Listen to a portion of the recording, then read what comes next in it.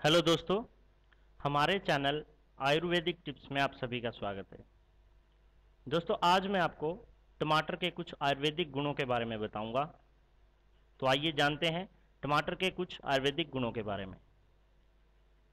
दोस्तों, जी मिचलाना और उल्टी आना जैसी समस्या होने पर टमाटर का रस निकालकर उसमें चीनी मिलाकर पीने से इन दोनों ही समस्याओं में बहुत लाभ होता है। इसके सेवन से रोगी को तुरंत आराम मिलता है। दोस्तों, टमाटर की चटनी अक्सर घर में बनाई जाती है। ये बहुत ही गुणकारी होती है। आप टमाटर की चटनी बनाकर इसे सास के रूप में यदि हर रोज इसका सेवन करते हो तो ये बहुत ही गुणकारी है, बहुत लाभदायक है। इसके खाने से खाना अच्छी तरह से पचता है। ये रक्तवर्धक है और बहुत ही पौष्टिक है। दोस्तों, मुँह में छाले होने पर और मसूड़ों से खून निकलने पर। टमाटर के रस को पानी में मिलाकर कुल्ले करने से इन दोनों ही समस्या में बहुत जल्द आराम मिलता है, बहुत ही चमत्कारी लाभ मिलता है। और ये दोनों ही जो समस्या है, बहुत जल्द ठीक हो जाते हैं। दोस्तों, बच्चों के लिए टमाटर अत्यंत लाभप्रद है। ये उनके लिए एक तरह से बहुत ही गुणकारी है। इसके खाने से खून की वृद्धि होती है, इससे खाज खुजली ठीक होती है, रोग, जो अन्य रोग है, जो त्वचा के रोग हैं, वो भी इससे ठीक होते हैं और त्वचा में निखार आता है।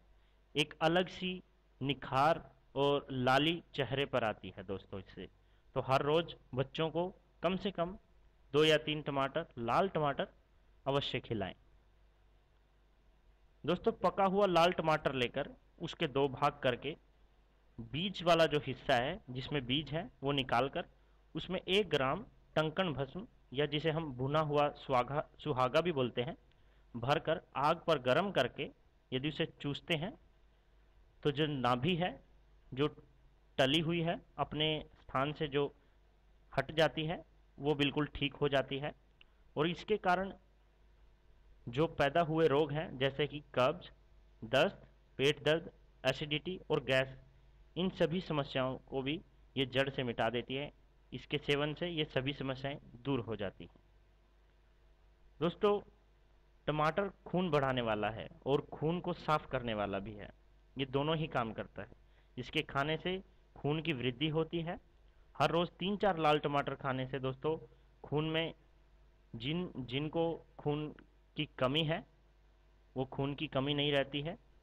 और जो शरीर है इससे हष्ट और पुष्ट बनता है।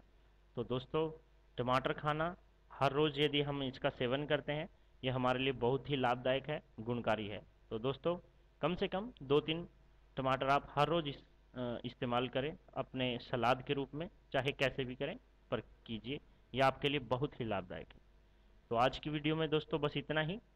यदि आपको ये वीडियो अच्छी लगी हो तो आप इसे लाइक कीजिए शेयर कीजिए और सब्सक्राइब भी कीजिए दोस्तों। Thank you